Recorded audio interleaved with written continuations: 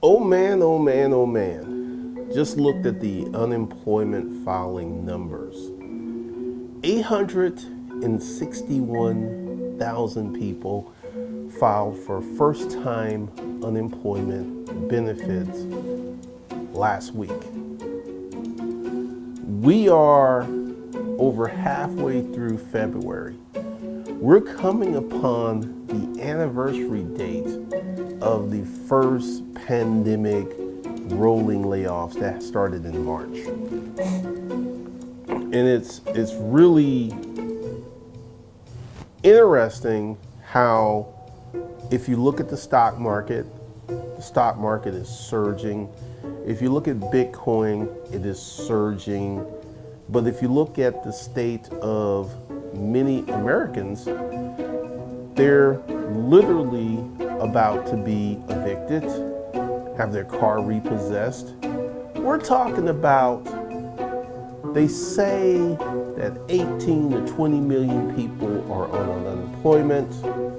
And then let's go ahead and move this up to about 30, 35 million people who are in a very bad financial situation.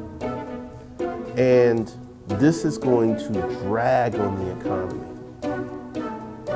It's going to perpetuate because this is a signal that the economy isn't getting better.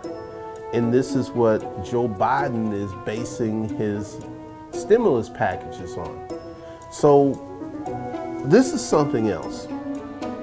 While we had all of these massive layoffs, while we had all of these massive um, business closures, something crazy has been going on in Miami. Miami real estate prices surged 30% in 2020. You want to know why? All of the tech firms from California and New York are heading south. They're taking their talents to South Beach. They're literally rolling into town, one billionaire after another. They're buying up property. It's been going crazy. So, what, what does this represent? It represents the segmentation of our economy. And it really represents which part of the segment that you're in because um, I know that there are many moist, feminine men out there that don't believe that I'm doing as well as I am, even though I show them a Porsche, show them receipts, show them. Eh, eh, eh, eh, eh no, Glendon, you black, bruh. You can't be doing that well. I get it. And a shout out to all of the good, sensible, common people who support this channel and support me. So I appreciate you because it has become rather funny in recent days because essentially the hate comes in phases. I'm like, I actually had a clown that posted on this channel. He didn't know what I did to make money, even though I talk about it often. He, he didn't know. And then I had another clown that was said, I agree with him because I took the government money. And let's talk about that. Last year, I was doing well, and one of the things is I realized that that's me, you know? And as an educator, as someone of personal influence, I should be doing things to help you. So for a lot of you, getting this PPP money, getting this EIDL money, that's going to be a blessing. And I've adjusted my mindset to benefit you. But we have weak-minded, feminine, moist men who are so jealous that they feel, because I actually took the money. I got the EDL loan the other day. That my business is in trouble and this is a red flag, even though this clown has not spent any money in, with me in 12 years. See, I'm talking about the segmentation of the economy. Um, there's this group that I follow on Clubhouse, and it's a bunch of financially sophisticated black people. And they were having a conversation yesterday about investing with debt. And most of these people are very, very savvy. They know that you should not invest with a lot of consumer debt. And it wasn't a reflection of the population at norm. This, this goes into the segmentation I'm talking about. Right now, we've got 35, 40 million people. Plus, what's happening in Texas is insane. We've got rolling blackouts in Texas. We've got people out there who are freezing, who are literally turning on the stove, huddling up in the kitchen to get some heat. And we got folks out there blowing 30 mil for a mansion in South Beach. So what does uh, what does all this have to do with this? You know, from the feminine, moist men to the 35 to 40 million people to the billionaires buying mansions in South Beach. It is about marketplace segmentation. Right now, there are 35, 40 million people who are really catching it. And it's really hard. It's really, really hard. And there's another group of people who are going out and buying properties in Brooklyn at a 1.8% 30 year fixed interest rate. And then you have another group of people who are buying oceanfront, beachfront property in Miami. And all of this is happening in the same timeline. This is all happening at the same time. So, my what I want to speak to is you know, going back to 2019, 2018, 2017, what I was talking to you guys about starting a business. And once again, this presumption rears its head. You get to pick which market segmentation you are in. You could be one of those 30 to 40 million people who are really catching it. It's hard. Or you could be one of those black, financially sophisticated people. Or you could be one of those moist, jealous, never done a damn thing in their life people. Or you could be someone that's entering into the millionaire class. And even though there's a global pandemic, you're still doing what you want to do with your life. It's really on you. Like, I feel that the high unemployment is going to continue for the rest of 2021. It's not going to go down. It's going to be record high. We're going to have more people unemployed. We're going to have more people with these bad financial situations.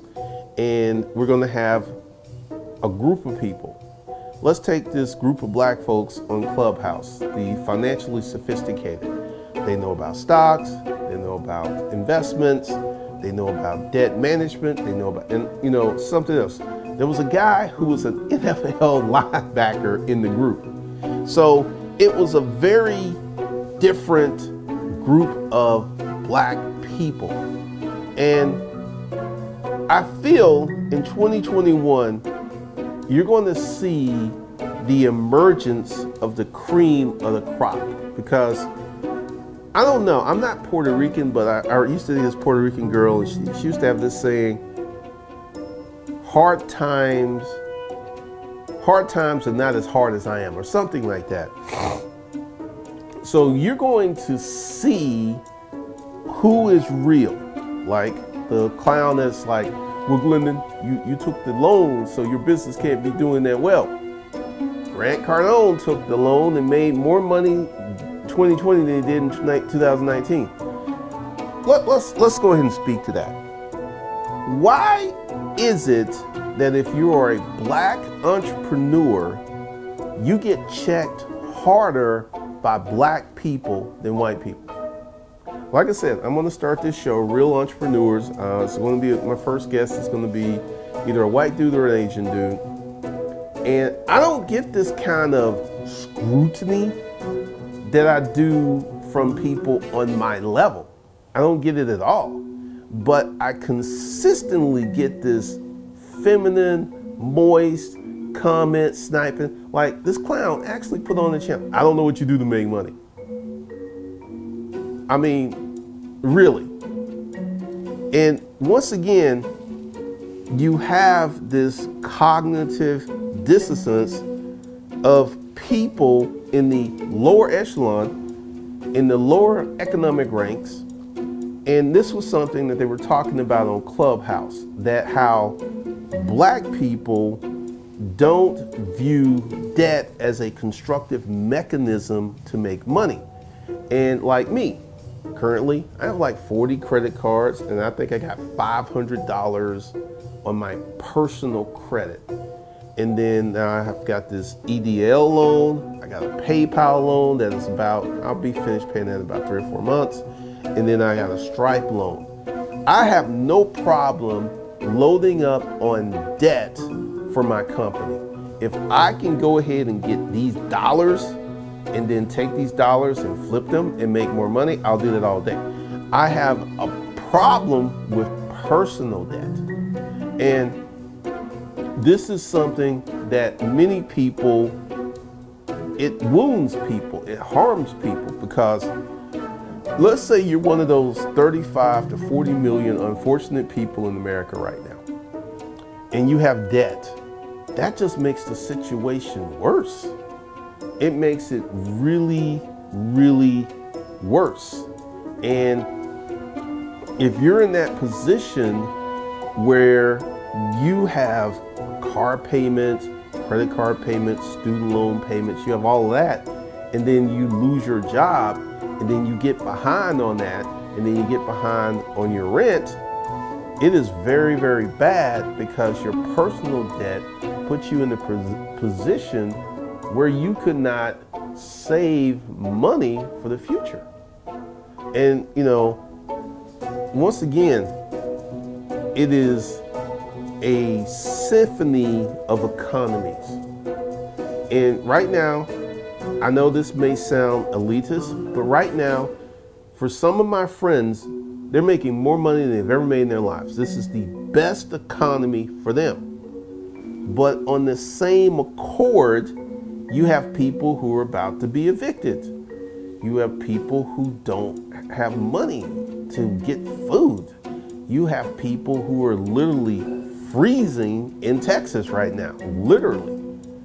Um, they have these rolling blackouts. So all of this is happening in the same timeline. And it's up to you to pick and choose which economy you want to participate in. I know that sounds easy, that may sound like simple, that may even sound over the top, but let's go ahead and talk about when I chose to participate in this economy. I am 54 years old, and uh, shout out to the folks who don't believe me every time I say that. I appreciate you folks, but I am 54 years old. And at the age of 34, because I went through the homeless thing at, and it was around 32, so from 32 to 34, I started to participate in the business owner economy. And that was hands down one of the best decisions that I've ever made in my life because the decisions that were made when I was 34 has led me to where I'm at at 54. And the first half of my economic life sucked. I was doing payday loans, I was going to the pawn shop, I was doing title pawn, and I was doing rent to own. Rent to own. I was doing all of the dumb financial moves that you could imagine. But, but this, making that decision to participate in the business class was a game changer for me. Right now, I know the feminine, moist men who just cannot stand, and th- this is something else. If you are a person that gets mad or upset when you see someone winning, that says a lot about who you are as a person. Uh, Dr. J lives in this neighborhood, and I see him tooling around in his um, classic Rolls Royce, and it makes me happy to see that this guy who has not dribbled a ball in what three decades is still living well, doing well, living his life, looking good. That makes me happy. I'm not going, I'm not a hater. But if you are a hater, it's because you haven't done shit with your life. And you are just looking at other people and being mad, like the feminine, moist men who, like, essentially, I'm not going to engage with you clowns. I'm just going to delete your comment, block you, and keep it moving. Because you're very feminine because you want attention like a woman. Because this is one of the things. Let, let me go ahead and tell you. Like what'll happen is if I if I respond back, they're gonna respond back because they want attention. And it's never gonna be anything productive or positive. I was completely shocked when it was like, I don't know what you do, man. And then this dude went ahead, it's in the comments, and went ahead and listed all these other people. I know what they do. And you know, he put in Meet Kevin. He accused me now, I went on record that I wasn't going to do stimulus talk videos because I felt that that was unfair. And then he accused me of chasing trends on YouTube, which I really don't do. And then he brought up Meet Kevin, who actually does the thing he accused me of doing. And one of the things that I'm beginning to understand about humans is when you hate so hard, it defies, it, it defies logic, it defies reason, and you know that's going to be the new policy because essentially, once again, I've explained in great detail why I changed my position on taking this government money because as an entrepreneur, this could create dramatic stimulus for you. And once again, I want you to win. You know, I, I'm, I'm starting to pay attention to what you guys are going through and ignoring. I mean, I mean, I'm gonna have I'm gonna have 10 racks in my personal checking account into this month from my business. And that is exceptional. See, because I know the numbers of what people have and how much cash people have. I know that's exceptional. I know that I live a blessed life. I live a good life. I eat well. I sleep well. I drive well. I create well. So I am living a dream for many people, just to be factual about that. But that's not going to help you. It's not going to help you and I'm getting ready to make some adjustments to my content and to my delivery and to my training to better benefit you. Because you know last two weeks I've been sick. Uh, I'm, I'm starting to feel better. It's just sucked. And during that time you know when I wasn't producing anything I was just um, I was just um, thinking and thinking and thinking about when I used to be poor, when I didn't have the money. Like, I'm in a position, anything I see in a catalog or whatever I want, I could just go get it. And I even use credit. I could use cash or credit or whatever. And I'm thinking about the journey. How did we get here? What steps? What happened? What did I do? What decisions? And I'm going to really start breaking that down for a more elemental reason because um, for my haters, for all of you clowns, for all of you weak, for all of you moist, for all of you unaccomplished, let's go ahead and say this. None of y'all have done anything in life and it's killing you. And you can choke on that for all I care, because they ain't got nothing to do with me. So leave your weak, feminine, sensitive comments to yourself and find another YouTuber to harass because that's all it is. It's just harassment. It's nothing constructive, it's nothing good because you don't believe in yourself. You have no energy, you have no hope, you have no mission, you have no urgency. You're just here on earth sucking up oxygen. That's all you're doing. And then when you see someone winning, it hurts your little heart. Here in the South, it's like, bless this little heart. Bless your little heart, because you ugly. you don't have no game. But yeah, that's what's going on economically. So are you going to choose which economic sector that you want to be in? Because it's a choice. It's a passive choice or it's an intentional choice. Either you're going to do these things to move yourself to where you want to be, or you're not. So that's your economic report today. If you want to transition to a new economic sector, I have the corporate toolbox. What I have below is I'll teach you how to set up a holding company. I'll teach you how to set up an operating company. I'll teach you how to make it tax efficient, and I'll teach you how to start a business from scratch. Links below. So with that, I'll talk to you guys in the next one.